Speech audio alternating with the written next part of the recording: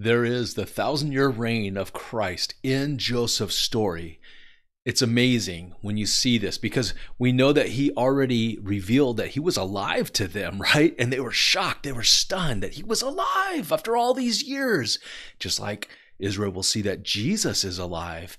And then after that, he brings them in and blesses them and gives them the best of the land and unites his old family with his new and the best of the land for a long time. What does this remind you of?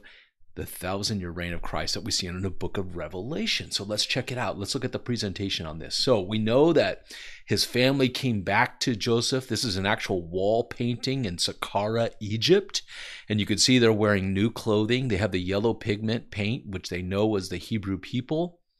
And here, uh, an Egyptian official is carrying a document to this oversized Egyptian official, which many scholars and archaeologists believe could have been Old Testament Joseph. He's wearing, he's carrying a scepter and a sickle in his hand. Very interesting because that goes along with Revelation, the picture, the image that that John sees of Jesus, right? This is amazing stuff, guys. So here we are in Genesis 45. And they told him, saying, Joseph's still alive. They're talking to their father Yaakov, right? To Israel, to Jacob. Your Joseph is alive. and indeed, he is ruler over all the land of Egypt. And then what happens? There's they we know that there was a great harvest. So there's bread in all of egypt. There's life there. They're going to live. They, they're saved if they go there where joseph is just like with jesus. We know there was a great harvest and there was a great famine right? We're in that seven year time of this great famine the great trouble like jacob's trouble over all the face of the earth the bible says this famine was. So this is a huge picture of god's plan that we're looking at. But there was bread where joseph was. There was food. There was life people lived if they went to Joseph. So here's another part of that wall painting from from Saqqara, Egypt. Pretty amazing stuff. Watch this. Look at this. This is a Hebrew person.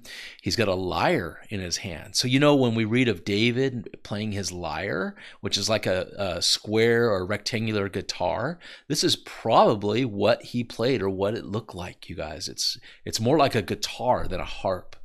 And it's very interesting, right? So, we're seeing this Hebrew man with a harp in his hand. There's a donkey carrying what looks to me like could be scrolls here, um, and maybe some new clothing. And there's a spear. Real interesting stuff. I love the archaeology. Just mix that in a little bit too. It's so fun.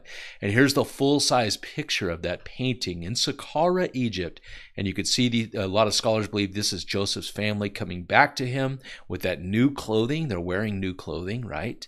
And it's a little different than what the Egyptians are wearing. And here you see someone that is bound, and that could have been Simeon, or perhaps it's a story of Joseph when he was bound. We don't know for sure. But anyway, it's just a beautiful picture. And then what what ha- what's happening now, right? Joseph has a Gentile bride. So just like the church today, which is mostly Gentile, um, there are some Jewish believers too, but it's mostly a Gentile bride that Jesus has right now. But that time will end. The church age will end. And I believe it ends when there's the rapture of the church, the catching up of the church to be with the bridegroom, right? Just like those stories that Jesus told. There's the old Jewish tradition. What happened? The, the, they would get together, have wine, the father, all right, of the bride and then the bridegroom they would have wine and bread together and then he would leave and go back to his father's house and prepare a place a room attached to the father's house a place for him and his bride for this 7 day honeymoon that they would have together. And then there was this great banquet. It would be like that 7 year period where we're raptured up to be with Jesus. And then what happens? That's when the end they have the banquet right? So before that they have that bread and wine together and then that groom goes off and he, and he prepares that place. And he doesn't know when it's ready. Only the father can tell him when he thinks it's ready and he can go get his bride. So you see the picture in those stories that Jesus told about the bridegroom, the virgins with their lamps and the oil, all that stuff is in that. But here we're seeing that Joseph has a Gentile bride, and his brethren come back to him. All of Israel comes back to him. 70 people plus, right? They come back and they're saved. He saves all of Israel. and he has his Gentile bride with him. And this is what? During that time, that seven year time of great trouble. So we see eschatology in this, the, the events of the end times we see in Joseph's story. So Revelation 19 says this For the testimony of Jesus is the spirit of prophecy. I hear a lot of pastors and church leaders saying, like, oh, I don't get into prophecy. I you know that that does that just distracts from the real mission of spreading the good news or helping people that's hogwash Jesus is into prophecy. it says, For the testimony of Jesus is the spirit of prophecy. A lot of those prophecies have been fulfilled when Jesus came the first time, but a lot of them have not. Ezekiel 38 39, I think 36 37 has been fulfilled in, in our time because Israel became this nation again and they're blessed. We might be on the verge of Ezekiel 38 39 right now. We don't know for sure. But there's a lot to be fulfilled. The book of Revelation is to be fulfilled. A lot of what we see in Daniel, here in the story of Joseph, right? Because he was raised up, he had the Gentile bride. That wasn't the end of the story.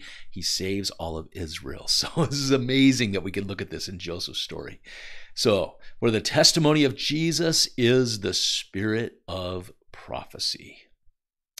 Revelation 19 says this He is clothed with a robe dipped in blood, and his name is called the Word of God. Does that not speak of Joseph, right? Because Joseph, what happened all those years where Israel, the sons of Israel, said that to, they lied to, to their father Israel, saying that he was killed by, devoured by a wild animal. Just like Psalm 22 uh, was changed, and they it, it, says that he was he was devoured or, or, you know pawed by a lion, devoured by a lion. That's not it. That's not what it says.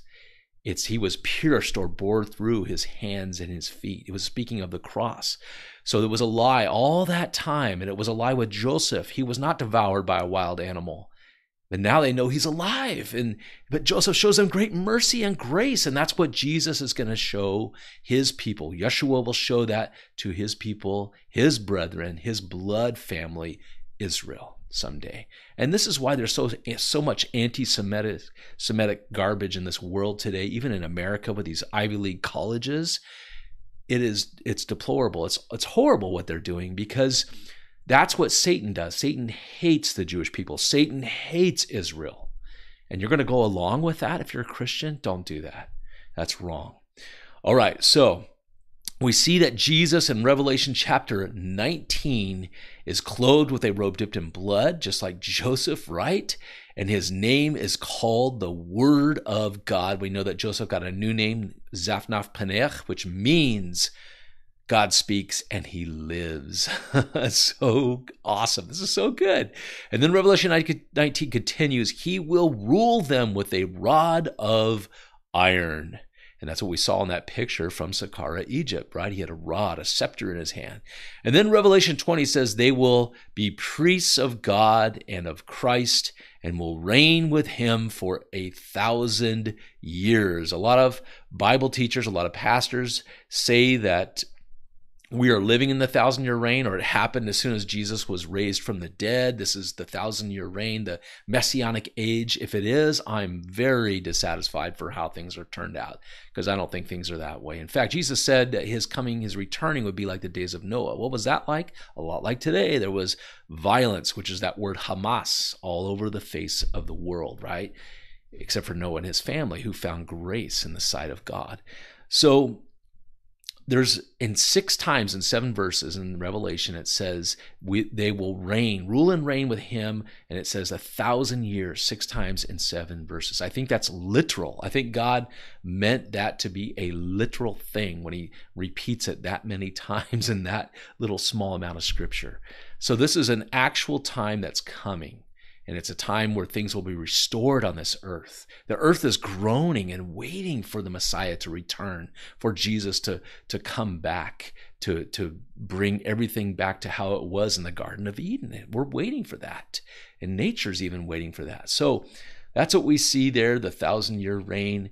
And now we're looking at this painting in Saqqara, Egypt, where he's carrying a rod and he has a sickle in his hand, which also speaks in the book of Revelation. You see Jesus with the sickle as well, and his brethren, the 12 tribes of Israel returning to him. And he forgives them. He shows them great kindness. Chesed is the Hebrew word, loving kindness and tender mercies. So Genesis 45 continues. Hurry, go up to my father, Joseph tells his, his brothers, his father, who's that? Israel, and say to him, so say to Israel, what uh, this is what your son Joseph says.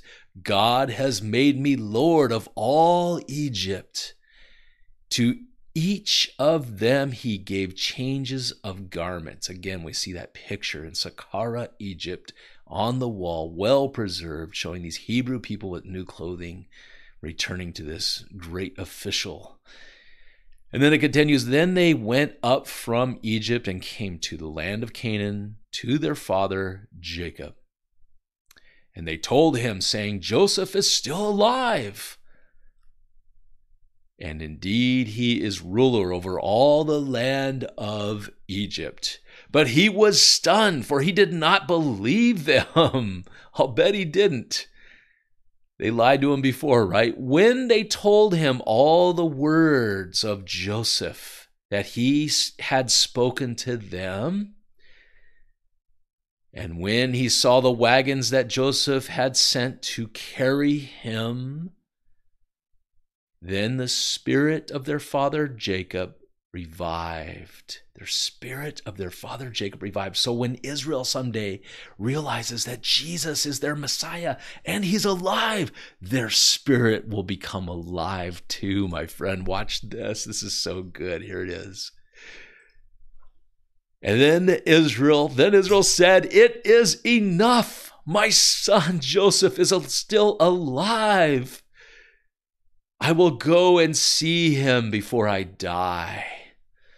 Now Jacob sent Judah ahead of him to Joseph to guide him to Goshen, and they came into the land of Goshen, right? That was the best of the land. Goshen was like the promised land, the best of the best.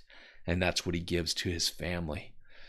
So here again, that wall painting, they're coming back to this oversized official, which many believe was Joseph himself. And here they are coming back, and he's showing them great loving kindness and tender mercies. And the scripture continues And Joseph prepared his chariot and went up to Goshen to meet his father Israel.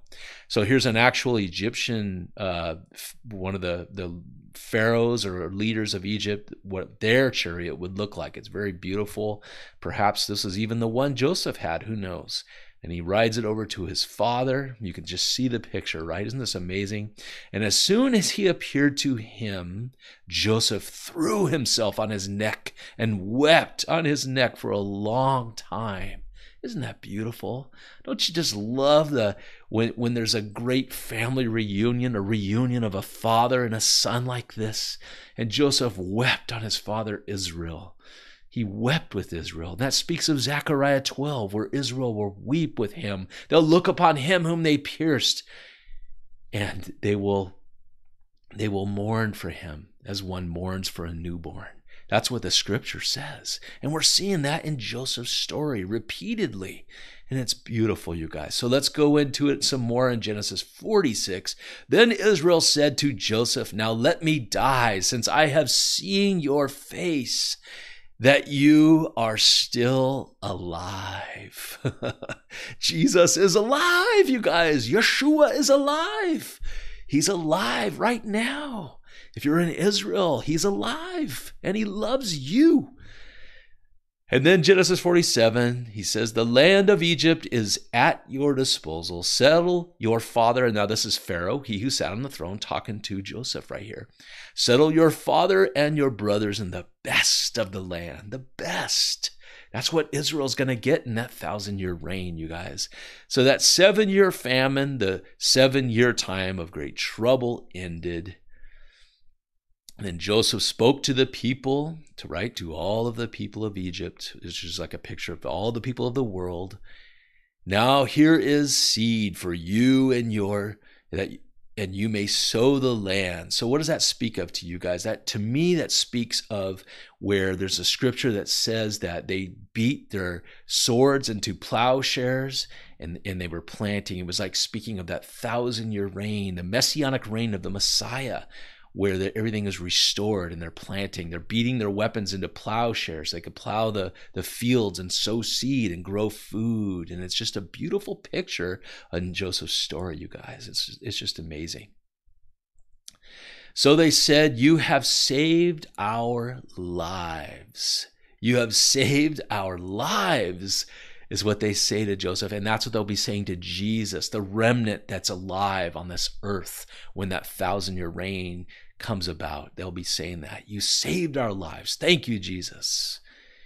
So it's an amazing thing. So Israel lived in the best, the best of the land, you guys. Blessed blessed by God, just like all those promises in the in this the prophecies in Isaiah and Jeremiah and all these other places. So Genesis 47 says, Now Israel lived in the land of Egypt and Goshen, and they acquired property in it and were fruitful. So they were very blessed. Psalm 2 speaks of this messianic reign as well. Watch this in verse 5 then he will speak to them in his anger he's speaking to the enemies of israel right here and terrify them in his fury saying he's speaking to the nations that went against israel but as for me i have installed my king upon zion my holy mountain right that's where jesus is going to rule and reign from jerusalem and i will announce the decree of the lord he said to me you are my son Today I have fathered you. This is David writing about Jesus. He's writing about the Father and Jesus. Ask it of me, and I will certainly give the nations as your inheritance. Again, speaking of this thousand year reign, and the ends of the earth as your possession. You shall break them with a rod of iron. You shall shatter them like earthenware. Speaking about the enemies, right? The enemies of God, which are the enemies of Israel. It's a matter of fact. That's how it's been. That's how it is going to be. The scriptures all speak about it. And he's going to shatter them. Jesus will, will rule and reign them with an iron rod. In Revelation 20, it says, They will be priests of God and of Christ and will reign with him for what? A thousand years. That's right. A thousand years. There's no doubt about it, my friend. So, hey, if you haven't subscribed, you might want to consider subscribing to this channel. Hit the little bell too. You won't miss anything. Right now, we're doing the series, How to Find Jesus in the Old Testament. You can see the whole playlist right here. So click on this right here. Watch the whole playlist.